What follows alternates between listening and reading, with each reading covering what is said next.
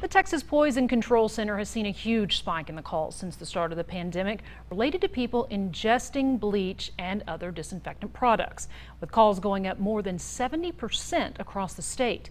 KLBK's Grace Morris spoke to Poison Control today. Grace, why do they think they're seeing this trend? Terry, Poison Control told me that they've seen everything from accidental to intentional ingestions of cleaning products during the pandemic. But they believe that this is because more and more people are disinfecting everything from their hands to countertops to prevent COVID 19.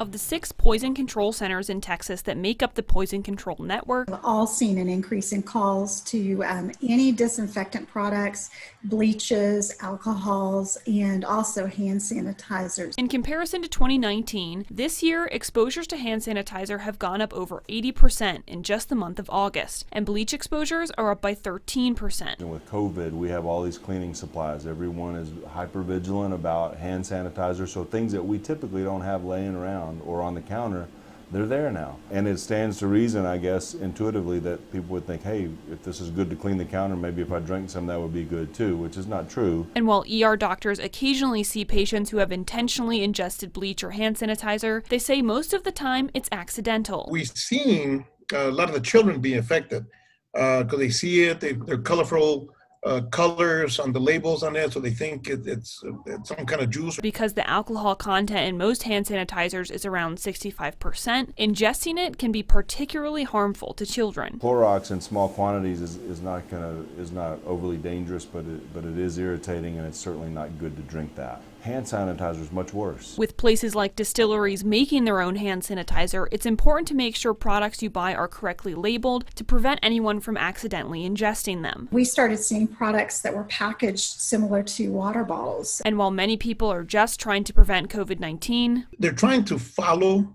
and keep clean, but they're using the products in the wrong way. Doctors say ingesting a cleaning product includes everything from drinking it to using it to clean your fruits and vegetables. They say both of which are a bad idea. Don't ever ingest a cleaning product. Um, they are they can be very toxic very quickly if they're used in the wrong manner.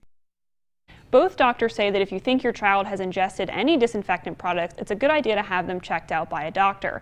Poison Control also reminds parents that to prevent accidental ingestions, to make sure to keep hand sanitizer and cleaning products locked up and out of reach, and make sure all bottles are labeled. Terry?